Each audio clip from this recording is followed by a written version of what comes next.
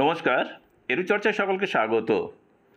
আমরা জানি যে পশ্চিমবঙ্গে শিক্ষক নিয়োগ নিয়ে বিভিন্ন রকমের দুর্নীতি ধরা পড়ছে এবং সেসব নিয়ে কলকাতা হাইকোর্ট যে সমস্ত রায় দিচ্ছেন বা যে বিভাগীয় তদন্ত দিচ্ছেন, তাতে সারা পড়ে গেছে।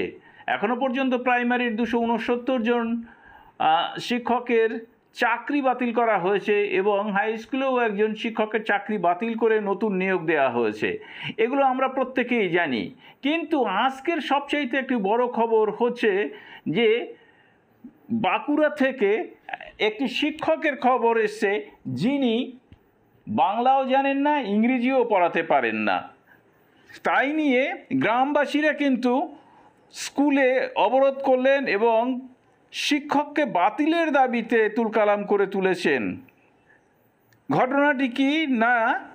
বাঁকুড়ার ওন্দা থানার চড়ুইকুড়া গ্রামের চড়ুইকুড়া প্রাথমিক বিদ্যালয়ে গ্রামবাসীরা অভিযোগ করেছেন যে স্কুলের শিক্ষক রাজীব কুমার একেবারেই বাংলা জানেন না। শিক্ষক হিসেবে তিনি যোগ্য নন। সঠিকভাবে বাংলা লেখা তো দূরে কথা, বাংলা পড়তেও পারেন না।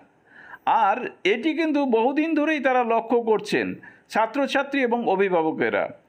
এই নিয়ে তারা আবেদনও করেছেন বারবার শিক্ষকের কাছে, অর্থাৎ প্রধান শিক্ষকের কাছে। তা সত্ত্বেও এই নিয়ে কোনো ফল হয়নি। তাই আজকে তারা কিন্তু একটি বৃহত্তর আন্দোলনে নেমেছেন।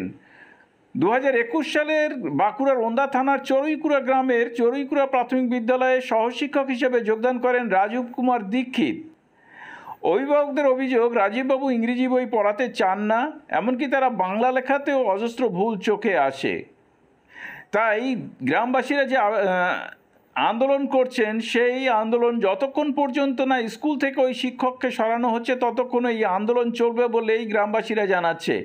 গ্রামবাসীদের সাথে কার্যত সহমত পোষণ করেছেন স্কুলের প্রধান শিক্ষক। তিনি জানান, এটা ঠিক যে ওই শিক্ষক ঠিকমতো পড়াতে পারেন না। এ বিষয়ে উচ্চমহলে আবেদন করলেও সুরাহা মেলেনি। যদিও অভিযুক্ত শিক্ষক বলেছেন, এটি একটি ষড়যন্ত্র। তিনি বলেছেন, আমাকে সম্পূর্ণভাবে ফাঁসানো হচ্ছে। আমি ঠিকঠাক পড়ালেও ওরা আমার নামে মিথ্যে রটনা করছেন। এ বিষয়ে আমার আর কিছু বলার নেই।